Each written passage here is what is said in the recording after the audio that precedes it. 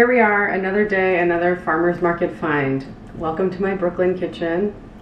These are onions, and today we're gonna make onion rings. So, um, but I had an epiphany. I wanted to make onion rings, and then I wanted to perfect onion rings, and I I don't know. I just was like, it's not to be good. Like, why am I doing onion rings? I don't want to do onion rings. I was like having this whole crisis. And I realized um, the reason I don't like onion rings is that the outside gets too crispy by the time the onion gets cooked. So I, I'm going to try an experiment where we roast the onions ahead of time. So here are my onions. They are not, like I bought them at the farmer's market a long time ago and they're kind of they're still great though. That's the thing about onions. You keep them in the fridge, they keep for a long time. So um, I'm gonna give these a wash and I'm gonna roast them inside their skins so that the um, all the juices like stay inside and um, then I'm just gonna cook them not until they're fully tender just like almost and then we're gonna dip those cooked rings of onion into the batter and fry those and then hopefully it makes the best onion ring in the world. So let's see. Um, I'm gonna go give these a wash.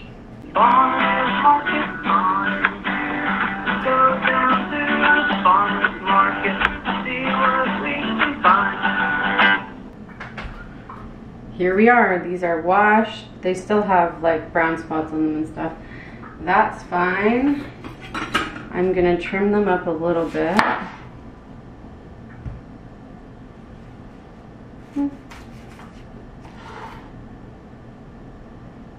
Okay. Ooh, yummy. Smells great. Okay. Trim this one up a little bit. And there we have our onions ready for the oven. Voila.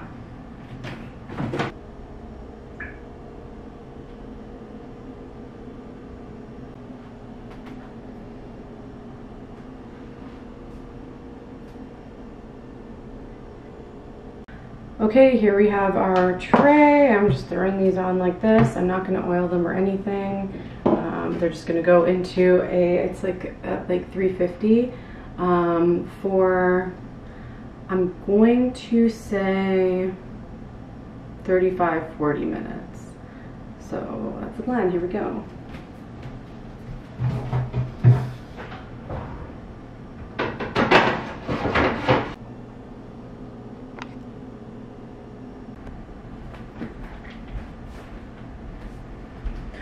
Okay, it has been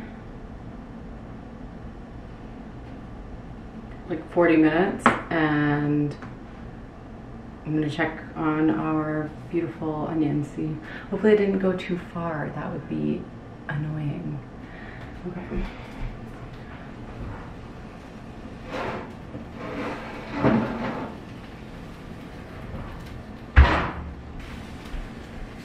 Here they are.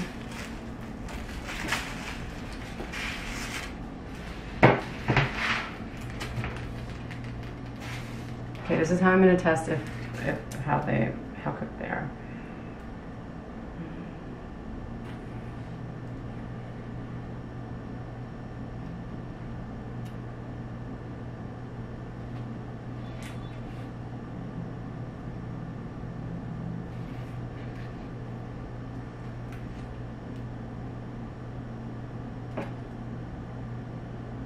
Okay, they're warm all the way through. So now I'm just gonna sit and let them cool off for a little bit just so they're cool enough to handle and then I'm gonna slice them.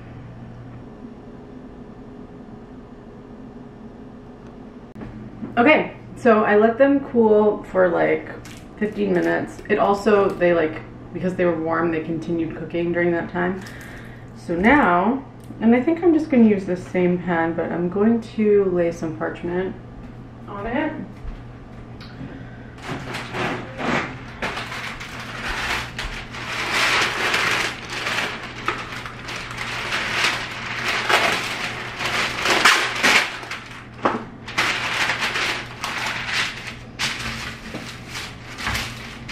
Okay. Ooh, these are like some juices coming out.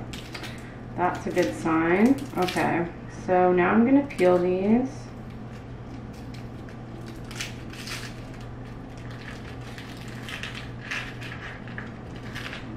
Oh, they're still hot. Oof, that is stunning. Look at this, beautiful. Gorgeous, gorgeous, gorgeous thing. smells really good too.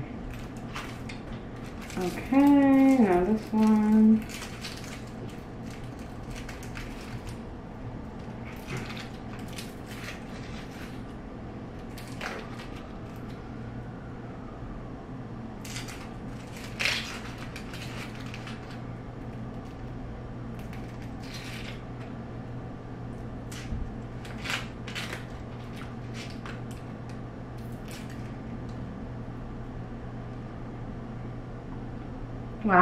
Beautiful. These are gorgeous.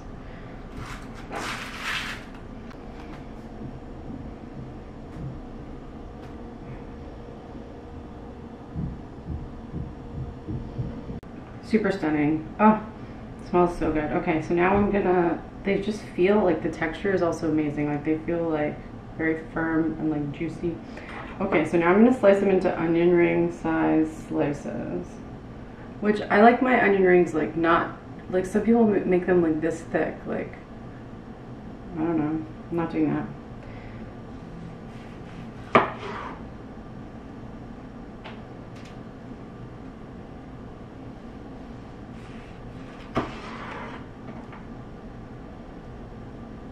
Okay, like that's the thinness.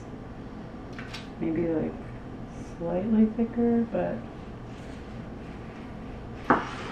Okay, this was the perfect amount of time for these onions. Your onions might be different, so, but yeah, they're definitely cooked warm in the middle.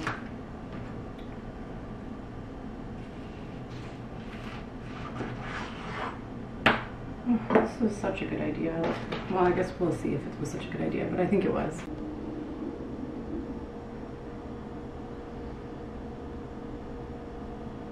Okay, just keep going, keep slicing.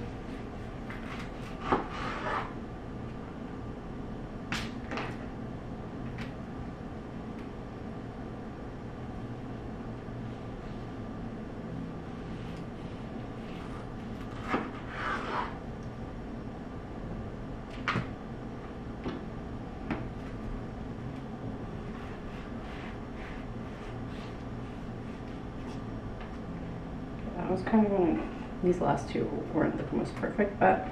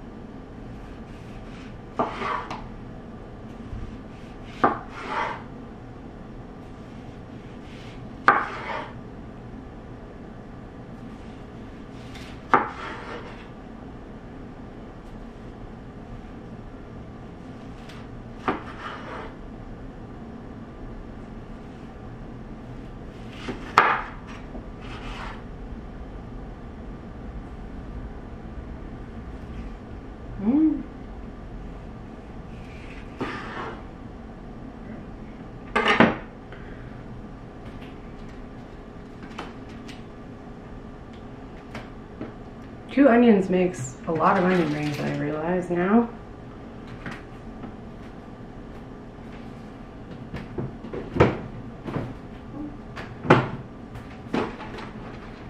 Okay, so I'm just gonna let these cool to the side and now I'm gonna make my batter.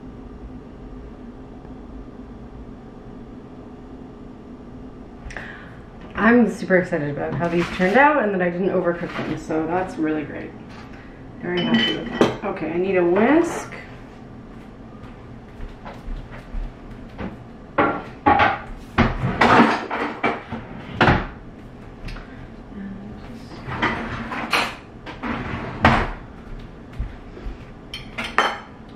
Okay, so time to make the batter. I'm just gonna make, I'm just gonna make some guesses here. Um, This is whole wheat flour. It's just all I have right now. You don't need, uh, you can use all purpose if you want. Let's see.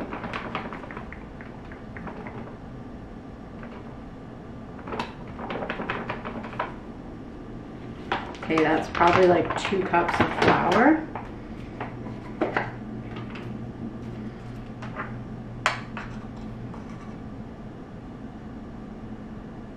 This is like maybe like half a tablespoon of baking powder.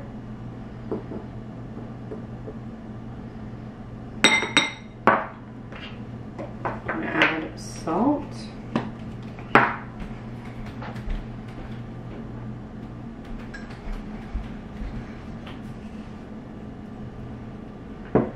I'm going to add. This bowl is too tiny. That's okay. Um,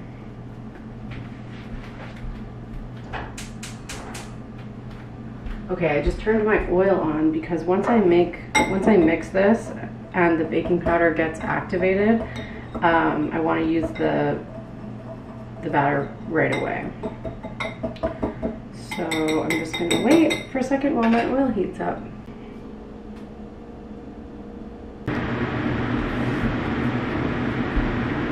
Okay, so this is for our batter and actually I'm to pour a little more flour into this bowl. And we're to dredge our onions in this. So because they're already partially cooked, they're kind of damp. And so they're to stick to this flour and then that's going to help the batter adhere a little bit better.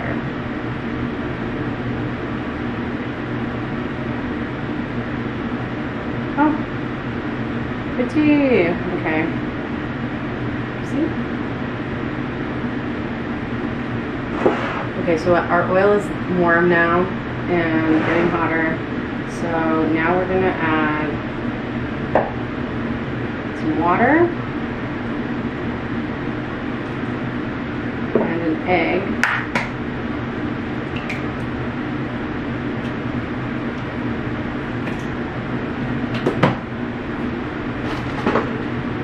And mix that around.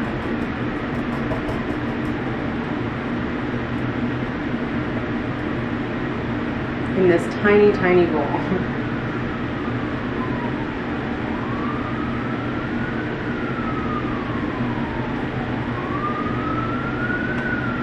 Need more.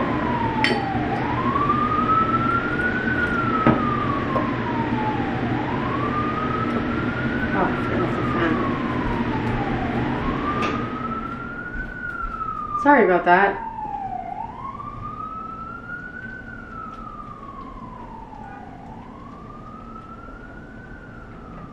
Okay, more water.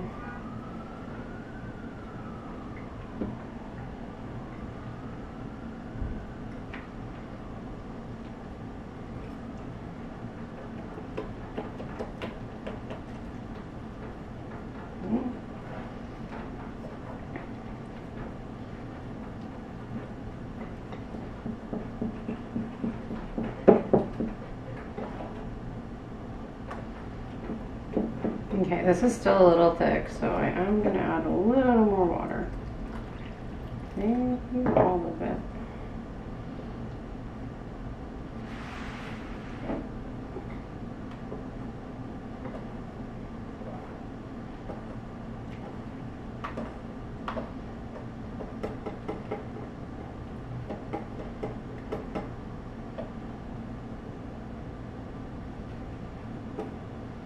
Okay, this is looking good. See that consistency?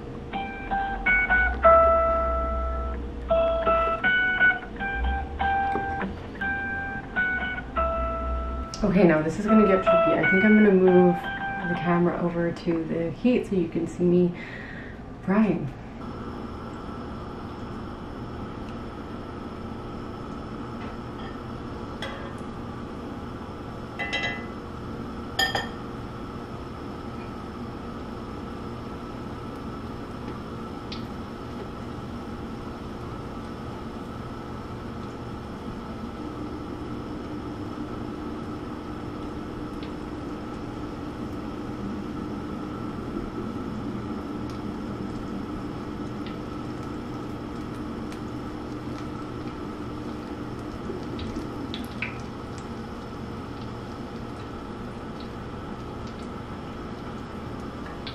Should actually really flip it, put it away from me, but.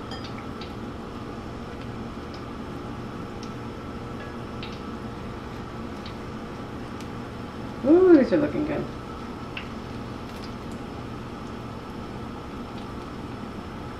I set up a tray to put them on once they're done.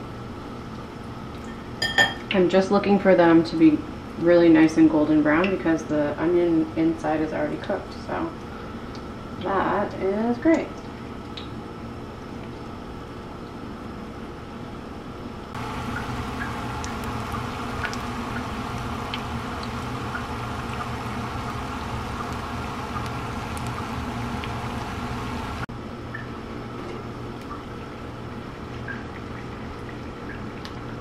That's looking good.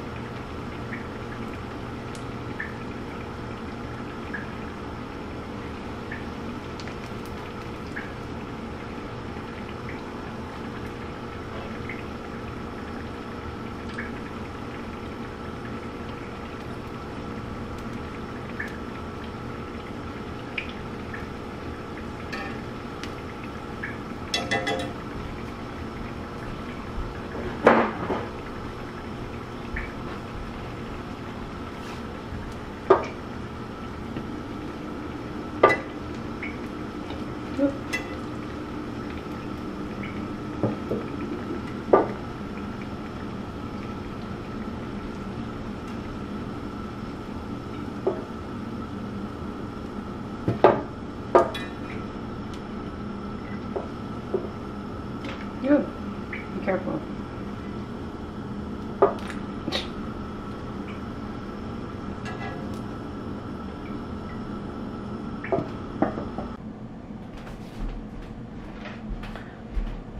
Okay, add a little salt while they are still hot. And let's plate them up. I'll make the other ones later. I just wanted to try these. Look how gorgeous these look. Okay. They're gonna be really hot, I think. Let's try this one, this first one.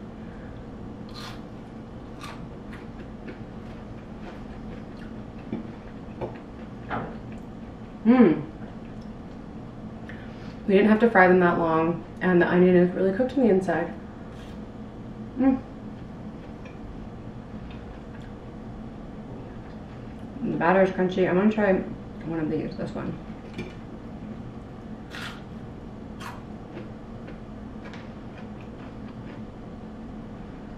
Really hot. Onion fully cooked. The batter worked out great. Really light, airy. Mmm. Really good onion ring.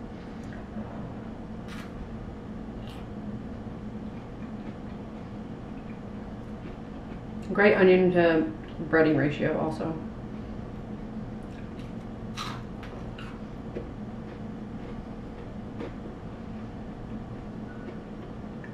Well, there you have it. That's how you make delicious onion rings uh, with onions from the farmer's market at home.